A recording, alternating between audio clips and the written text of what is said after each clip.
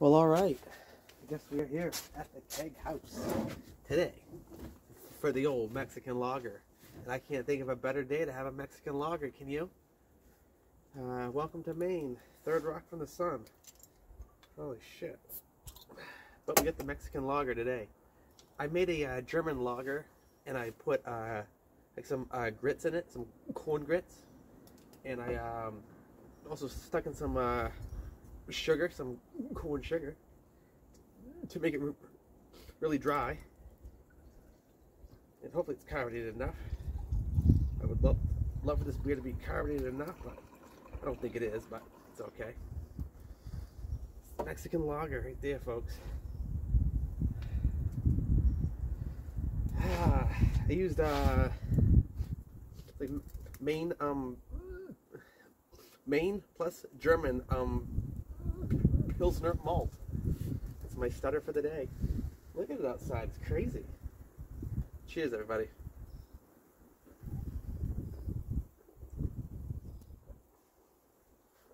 Mmm.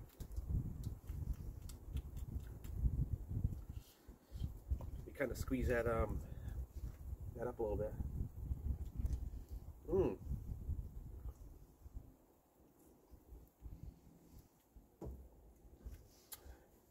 Pretty good actually. It's not quite um like um um primed enough, um, but, but it's getting there, and uh, it's very dry. Has like a um bready kind of feel to it. Um, dry bready corn. I like it. That's what it's supposed to taste like. It's a Mexican lager. Um, so yeah, cheers everyone. God, how about this day in Maine, huh? Hmm.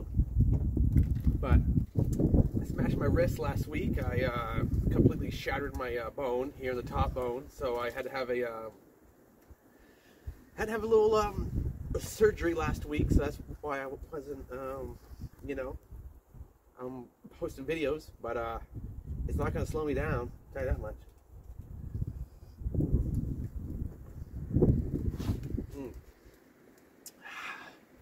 It's not bad. It comes in, this comes in at about uh, 5.4%. Uh, so um, it's like a perfect starter beer for the day, you know? So uh, yeah, man, I like it. I'll let you scope it out, and that's going to be it for today. day. Keag Haus, everyone. Cheers, everybody. Check that out. That looks awesome. Uh, yeah, that's it for today. Oh, Monterey. Buddy. It's snowing, dude. All right, everyone. That's it. Cheers.